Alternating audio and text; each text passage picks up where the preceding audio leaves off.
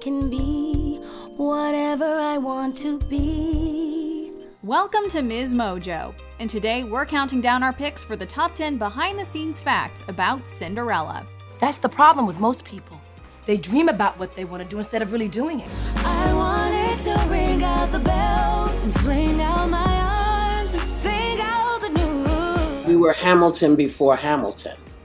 For this list, we'll be looking at interesting tidbits you didn't know about this cult favorite movie. What's your favorite version of the Cinderella story? Let us know in the comments. Number 10. It had a huge budget. Oh, if only he'd proposed to me. I wish that he'd proposed to me. Just leave the hair and clothes to me. The prince is giving a ball. Rodgers and Hammerstein's Cinderella was made as a TV movie that aired on ABC after being produced by Walt Disney Television. In a surprising move for a television production, however, the film was given a budget of $12 million, making it one of the most expensive TV movies ever made to this day. When they told me that the sets were beautiful, I never thought that beautiful meant all of this. Despite that, production went over budget. And by the time they reached the final days of filming, they were completely out of money to pay extras and other expenses.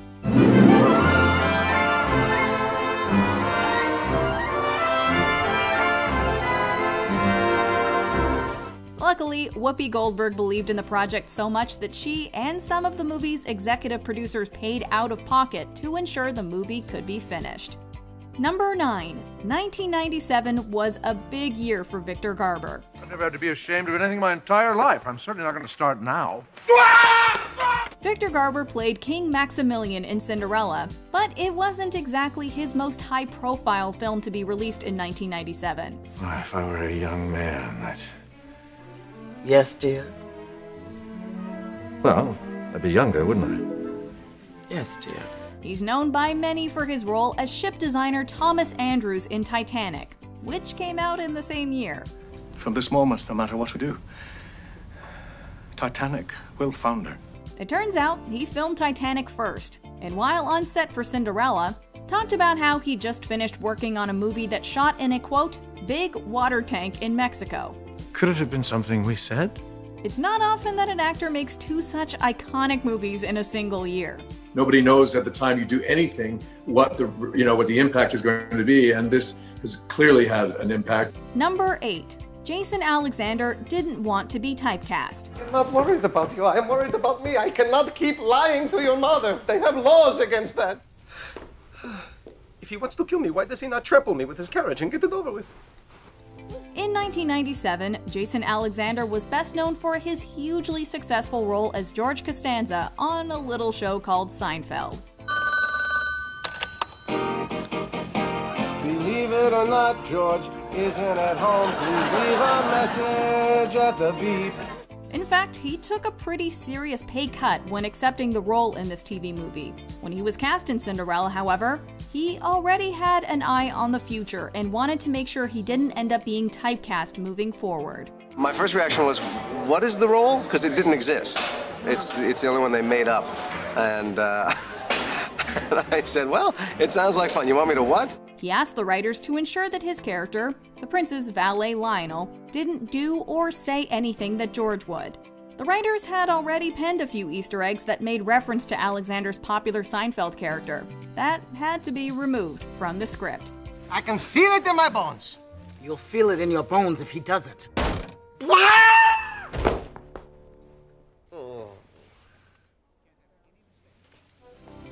Number 7.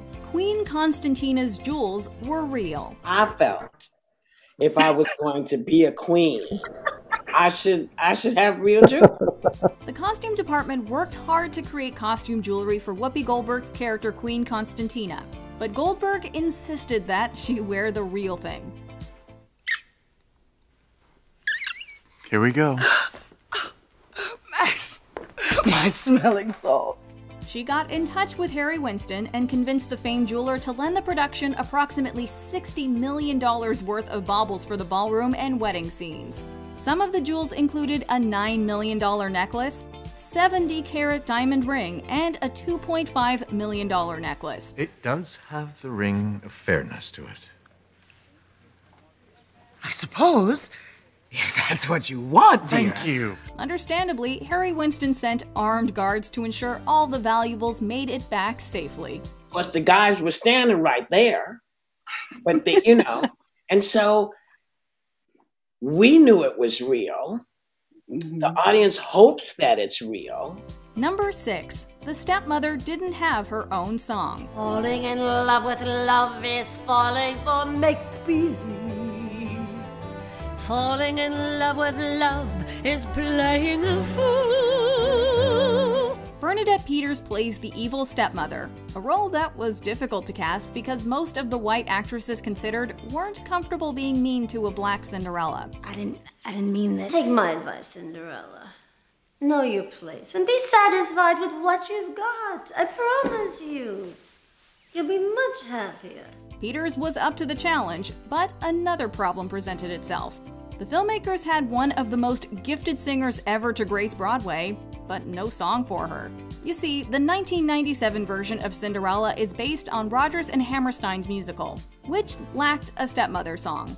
To remedy the issue, they actually borrowed a song from another musical for her to sing, Falling in Love with Love from the Boys from Syracuse. I fell in love with love with love everlasting.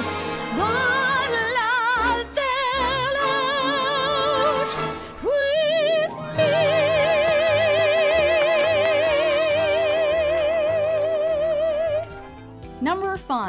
Some lyrics were changed to represent Brandy's skin color. You try coming up with a rhyme on the spot like that. Because songs were taken directly from the Rodgers and Hammerstein stage production, they weren't penned with a black Cinderella in mind. Therefore, some of the words had to be changed to reflect Brandy's appearance. In the song Stepsister's Lament, for example, the lyric originally read, Her cheeks are a pretty shade of pink, but not any pinker than a rose is. and Her neck is no wider than a swan. In order to be more accurate, they were altered to Her face is exquisite, I suppose, but no more exquisite than a rose is. And her neck is no longer than a swan. She's only as dainty as a daisy. She's only as graceful as a bird. So why Number 4. Paolo Montalban was the last potential prince to audition. The kindest words I'll ever know are waiting to be said. According to executive producer Debra Martin Chase, finding the perfect Prince Charming was apparently as hard as finding the owner of the glass slipper. While a number of well known actors auditioned, including Marc Anthony, Wayne Brady, and Taye Diggs, they weren't able to find the right actor to portray Prince Christopher. Who wants to know? Let's just say a charming stranger. It was only when Paolo Montalban arrived at the audition late and blew them away with his singing abilities. Are you the sweet invention of a lover's dream?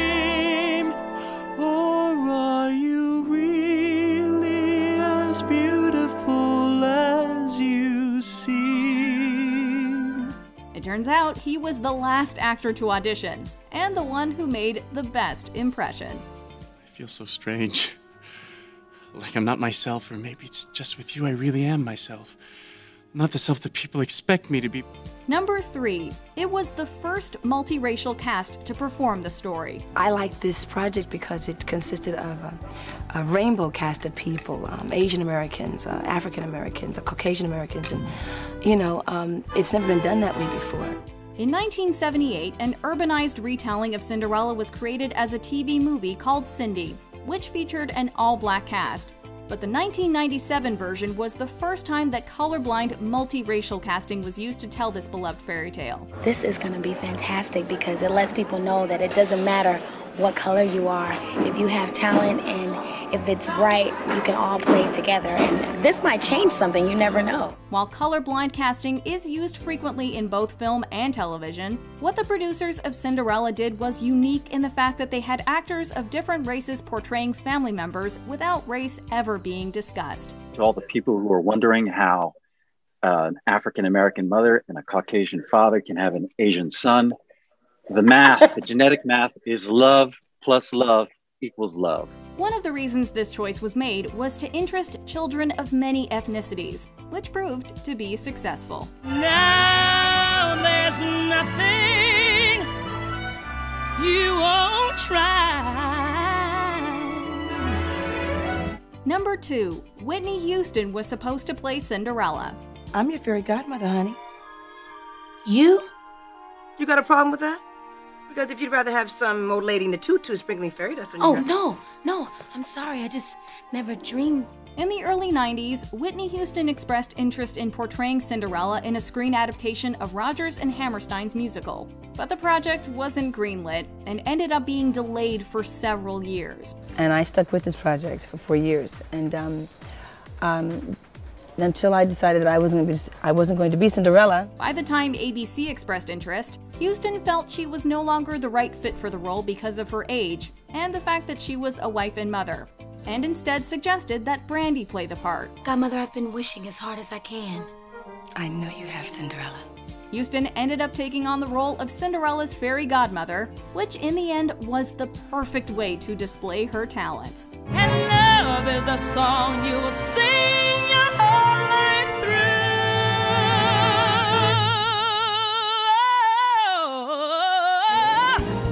Before we unveil our top pick, here are a few honorable mentions. It wasn't an overwhelming critical success. Critics didn't love the film as much as audiences did. But the world is full of zanies and fools who don't believe in sensible rules and won't believe what sensible people say. Whoopi Goldberg really sings.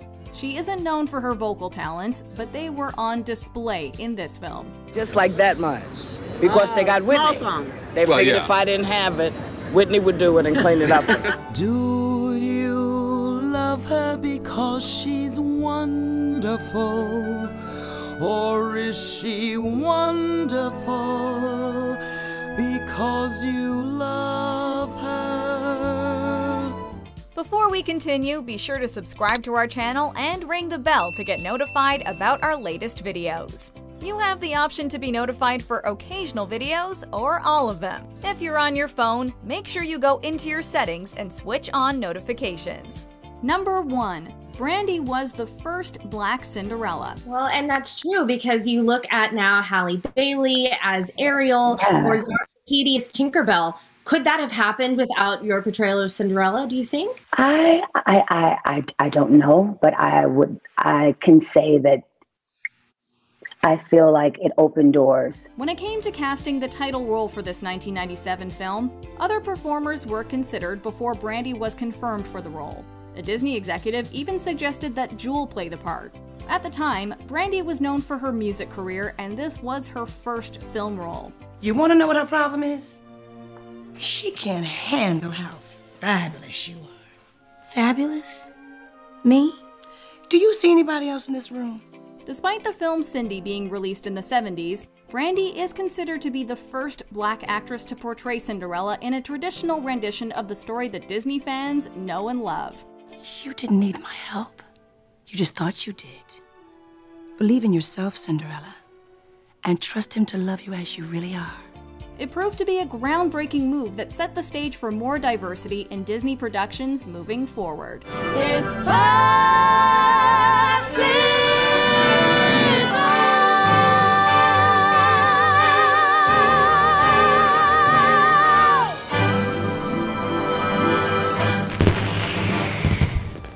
Do you agree with our picks? Check out this other recent clip from Ms. Mojo.